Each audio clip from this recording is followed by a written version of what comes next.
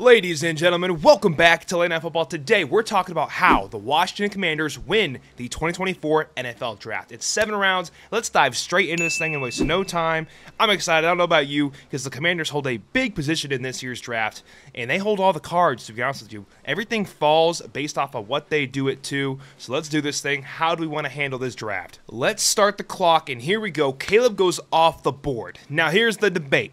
Do we go Daniels? Do we go Drake Maye? Today for this mock draft, I will be making all of the picks based off what I think should happen and how I think this will best impact the Commanders, not what I think will actually happen on draft day. Does that, does that make sense? Does that make sense? I'm trying to make them the best team possible today, so I'm going to pick the guys that I want. With that being said, Drake Maye or Jayden Daniels, both fantastic quarterback prospects. What do you want? They're both a little bit different. They can both run. They both got pretty good arms. Drake Maye's got a little bit better of an arm right there because he's just more of a pocket passer, but nobody can quite run like Jayden Daniels and escape from the pocket. Where do you want to go here? Personally, today I'm going with Drake Maye. I think he's the better overall prospect in the long run, and that is what I want as my quarterback for the Washington Commanders. And next we pick at 36 overall, and I'll see y'all there.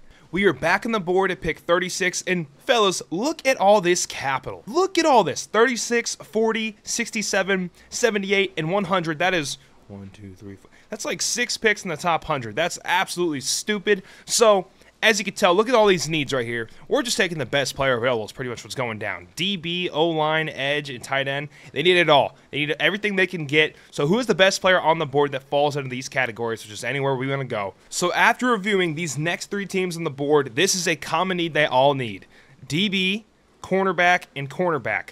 That being said, Tampa will not be there at our next pick. I don't think Frazier will either because these guys need an alignment and they will take one. So do we want Zach or do we want Tampa? I think Tampa is more valuable overall because cornerbacks are a necessity in today's game. So I'm going to take Tampa to lock up the cornerback. Hopefully Zach falls, and if not, we'll just take the best player overall. So let's take Tampa right here and see what happens. Come on, baby. Oh, we got so close. They snagged him off the board. We almost got our guy. That is okay. Our next pick on the board is at 67 overall, okay? Now, let's review this one prospect I'm looking at. Kingsley, right? BYU tackle. He is a very good player, but he's more developmental, all right? And most likely the person we draft right here at, what is it, 60 overall, 40 overall, is going to start day one. This guy is more developmental. I don't really want to throw him in the fire, as they say right here. Don't want him to be baptized right in the fire and start day one. I'm not trying to do that to, with Drake Maye as our quarterback. We do want to protect him, but I'd rather have a day one kind of starting guy than a developmental project, if that makes sense. So with that being said, I'm going to take the best player on the board. And we it's also a position in need. We need more DBs. We need a safety. We need a cornerback. We can take it all. Everything we can get, we're going to take. I love Tyler Nubin. Let's take Tyler Nubin and our man TJ Tampa and just stack this secondary out the gates and just get it going for this team. We are back on the clock at 67 overall, and we got three more picks still in the top 100. Absolutely crazy. So, We've addressed the secondary without a doubt. We got Nubin, we got Tampa. We're feeling good. Let me show you guys right here. We're feeling great. We got Maye.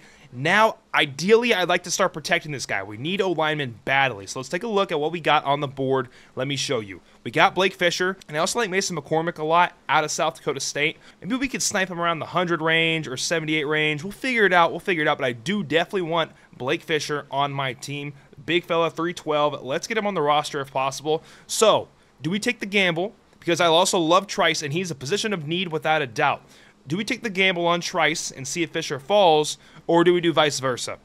We have Maye. We need to protect our franchise quarterback, so I'm going to go with the need and necessity in Blake Fisher, and hopefully Trice or somebody else great falls to us at our next pick at 78 overall. I have very sad news. He did not make it to 78 overall. The Lions took him 73rd overall. Those damn Lions. Here we are back on the board. We wanted Trice. That is okay. We will adjust on the fly, and Austin Booker is a plenty good substitute for that kind of edge player we want on our team. Let's take Austin Booker at edge because he's a position of need and we can address it immediately in these first three rounds. We are at the top of the third round, the last pick of the third round, and it belongs to the Commanders. Here we are. Who do we want to take here? We've addressed quarterback. Did we address quarterback? We addressed quarterback very nicely. We've kind of addressed O line. We've addressed edge. We've definitely addressed DB. So it's tight end and O line. It's pretty much the main two remaining, in my opinion. I don't. Let's take a look at tight end. Cates over Benson, I like those guys a lot. I feel like we could get one of them at 139. I'm not going to pull the trigger there quite yet, but we do need more alignment. That is a fact. And I love Beaux, the six-five center out of Arkansas. This dude can get it going. We need the help too. We got to protect our franchise quarterback. Let's double down on the O line and let's take Beaux out of Arkansas at 100 overall. Oh, guys, look, it's Christmas. It's Christmas. One of my favorite tight end prospects has fallen to us at 139, and he is the first on the board. I agree with you guys for sure, PFF. Ben Sinnott, welcome home, baby. You are a Washington Commander man, he could do it all. I'm a big fan of this tight end, and he is on our roster. And guys, we've addressed every single need. Every single need. We're absolutely killing it. Welcome, Benson. I'll see you guys at the next pick. We're here at pick 152, and there's lots of value on the board. We got Wingo, King, Murphy. Uh, I like Barnett. Love me some Holker, but there's one guy that y'all already know. I got a man crush on this dude, and he falls every time on the board. This will not happen on draft. I don't see it happening. Zak Zinter. This guy can do it all. We're just going to stack that O-line because we're protecting our franchise quarterback. If you give Maye time to deliver the ball, he's going to wreck some defenses in the NFL. Let's take Zak Zinter here at pick 152 overall. I'll see you guys in the seventh round for our final pick. This is our final pick for the Commanders at 222. Who we taking? I mean, we've addressed all our positions easily. We've done a very good job today. And I'm not, I mean, it's a seventh round. You're just taking a swing here. You know what? Let's have some fun. Frank Gore Jr., if he is half as good as his dad was in the league. We are going to have a great time drafting this guy. Welcome to our team, Frank Gore Jr. Look at this gang. This is the first time PFF has said, great job. Looking like a good draft. Thank you, guys. Appreciate you. But anyways, Commanders, Commander fans, this is my mock draft. Let's go through this thing one by one. Off the board, Drake Maye. I don't have to explain myself. TJ Tampa, Nubin, we doubled down on secondary because the positional value was just screaming off the charts. I don't know how we got Nubin that late. I'm very excited to see this secondary going forward. And then it was address the O line and fill in needs from there. Blake Fisher, I like the value there at 67 overall.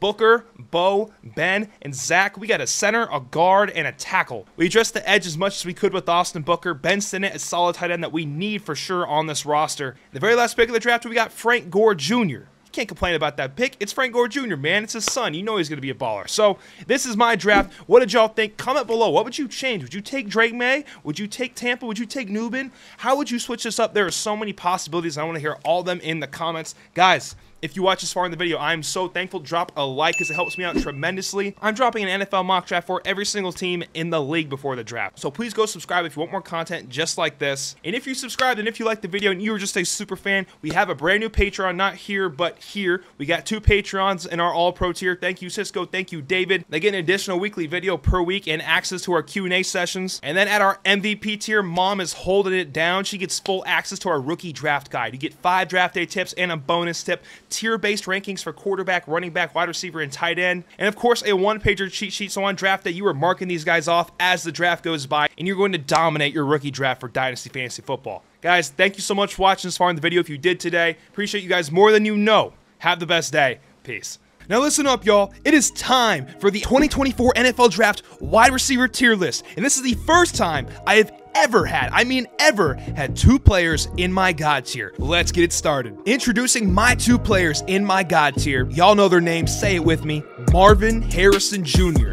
out of OSU and Malik Nabers out of LSU.